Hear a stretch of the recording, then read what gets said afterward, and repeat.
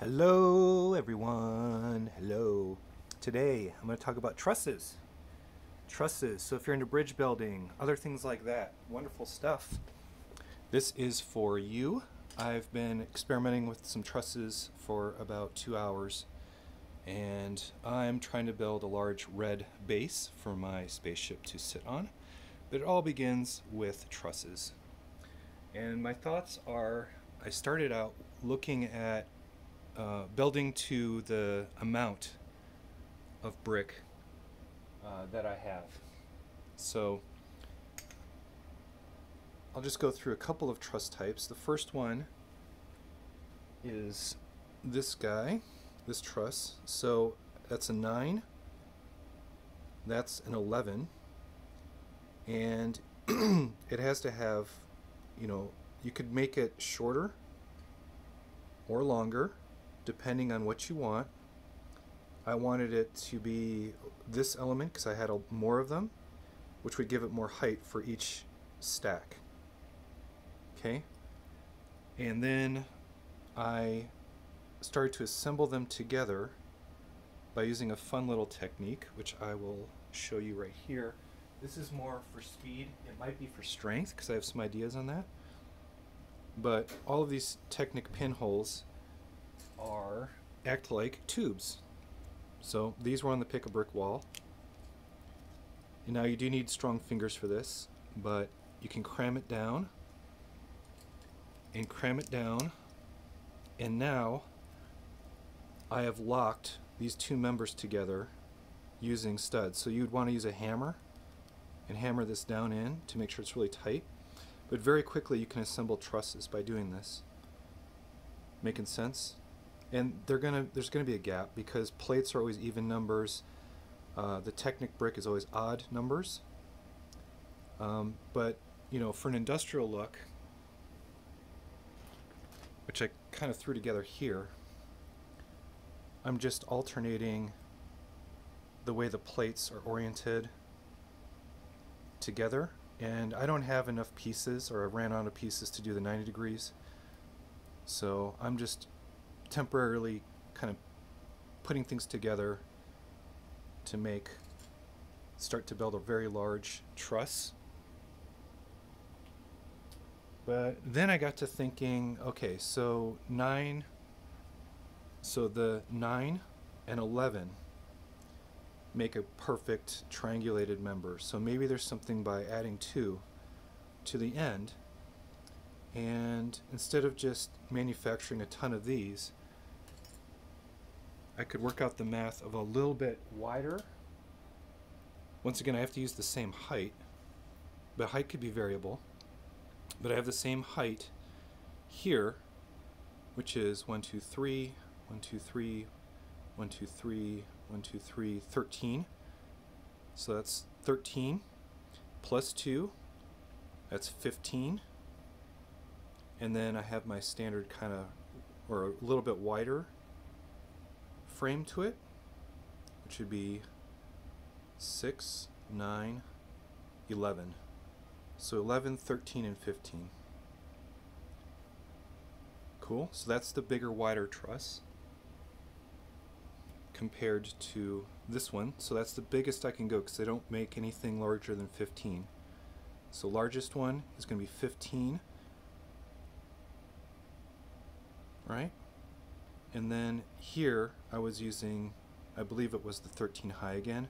This time shrinking it in by a little bit and doing the little idea there. And then the thinner one would be to use a 7. A 7 one, two, three, one, two, three, one, two, three, seven, and still looks like an 11. Let me make sure. 9, 10, 11. Yeah. 7, 11, and once again, the height can be variable. It just so happened that I'm using the same height as before. So now I have a thinner union. So now I can do a 7 wide I can do 9 wide. And this last one, I never did count that, did I? Or I did. 3, 6, 9, 11. So 7, 9, and 11. 7, 9, 11 wide, standard height. So I can start to mess with different proportions of width or length and I can use the same studding grip, alternating grip lock uh, to put these side by side and not use a ton of pins, not use a ton of expensive Technic connectors. Um, just very cheap, super fast if you have a hammer or your fingers are strong. And then I thought there was another advantage to kind of plating this stuff like this. So if I'm looking at this like a bridge, and this would be the roadbed, if I lock everything together, studs down, I could put a brick reversed in there, lift it by one plate, and I could put entire large sheets of plates on top. And they'd be reverse studs, so they'd have kind of a nice, weird roadbed, industrial roadbed look to it. Um, and very quickly sheet this whole thing on plastic so it's not just locked here and locked I put I do the same thing either a large wide double brick or I could use a plate and then put bricks on top. And then eventually you could put large plates overlapping you know two plate layers overlapping to make a roadbed that'd be ridiculously strong. And then you can always turn this 90 degrees and you get something that could be on the side of the roadbed right as a truss element. And if you look that is still perfectly straight over an incredible length. And there's your side lock right there.